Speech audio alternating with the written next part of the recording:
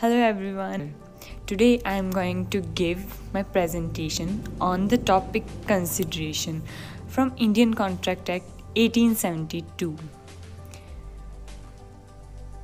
In this presentation, I am going to discuss the meaning and definition of consideration and some essential conditions for consideration to be valid.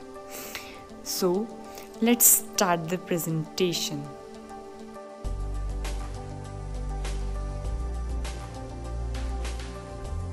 We know that offer plus acceptance it results into an agreement. And when enforceability by law is included in the agreement then it results to a contract. And there are so many essential conditions for a contract to be valid. From all of them one of the most important is consideration it is a very important essential which is important for a contract to be valid. Now question arises what is consideration? Consideration is something in return. For example mr a sold his car to mr b for rupees 50000 here the rupees 50000 is consideration for a in return of his car and for Mr. B, the car is consideration in return of 50,000 which he gave to A.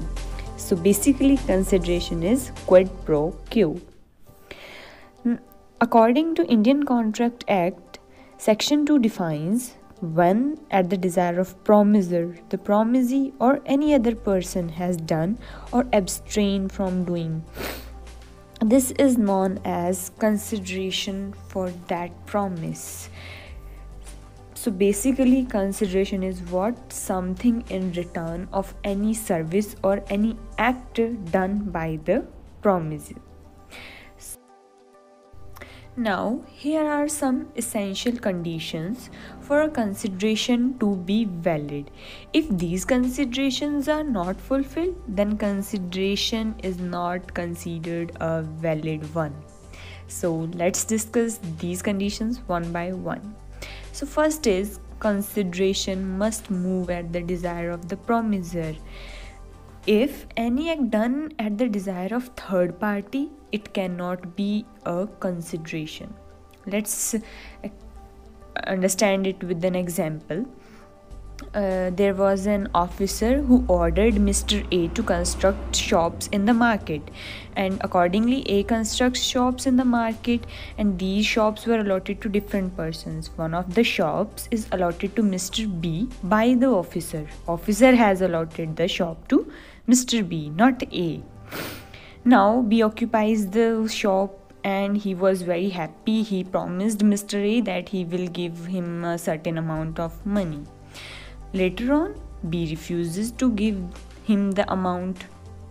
Now, a Mr. A went to court and filed a suit against Mr. B. Now, here a question arises whether A is eligible to recover that amount from Mr. B.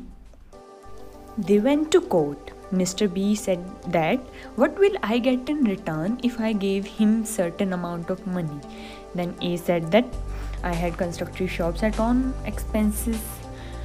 Then Mr. B said that shops are not constructed on my desire. These were constructed on the desire of officer.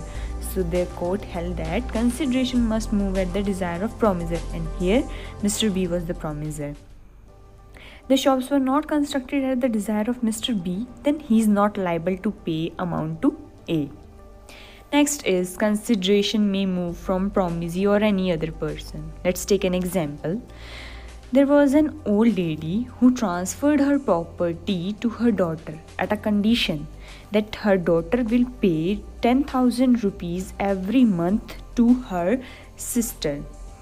Later on, daughter refused to pay the amount to the sister of old lady then the sister went to court here daughter held that if i am paying her 10000 rupees what i am getting in return the sister of old lady said that consideration is moved to you by the, her sister.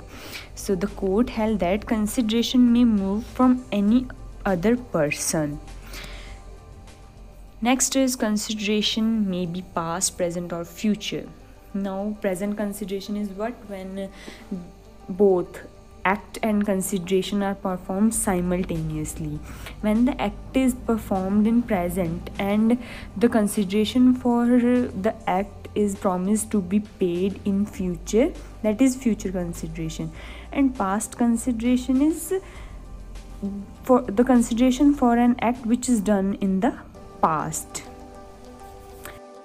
Next condition is consideration need not to be adequate. It is not important that consideration should be adequate. It should not it can be or cannot be equal to the price of the thing which is traded.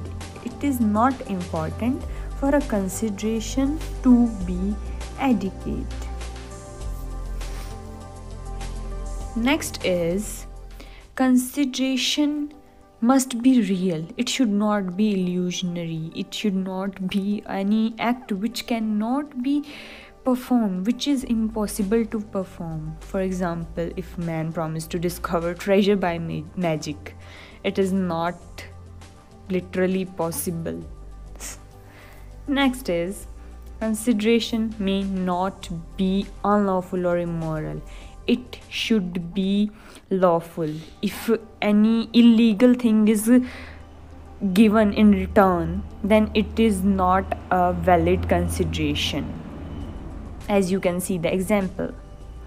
Next is performance of what one is legally bound to perform then no consideration is required for such contracts. For example, a lawyer is bound to fight case to provide justice to his clients. He cannot charge any extra amount or any extra charges from his clients because he is legally bound to perform his duty. So, no consider- consideration is required for such contracts these were the some essential conditions for a consideration to be valid. Thank you so much. Hope you all liked my presentation. Thank you very much